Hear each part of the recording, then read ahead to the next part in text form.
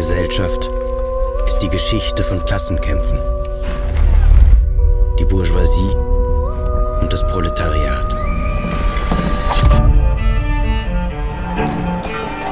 Und? Zufrieden, Karl? Was hätte ich denn tun sollen? Den Mund halten? Mich zensieren lassen? Mich mit Anspielungen begnügen, so wie ihr das macht?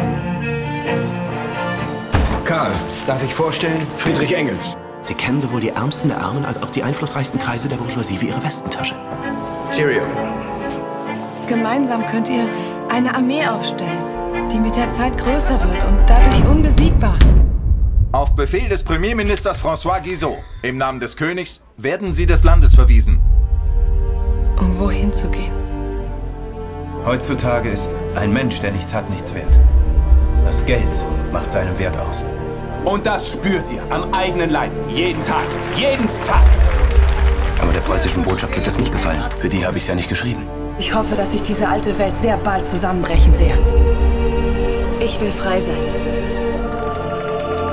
Und ich will kämpfen. Ich glaube, ich habe was verstanden. Alle Philosophen haben bis jetzt immer nur interpretiert. Die ganze Welt interpretiert.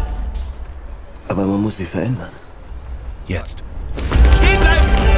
Sie sind der größte materialistische Denker unserer Zeit. Gütiger Himmel, wach auf!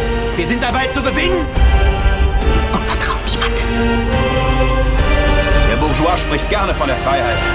Aber diese Freiheit ist nur für ihn, nicht für euch.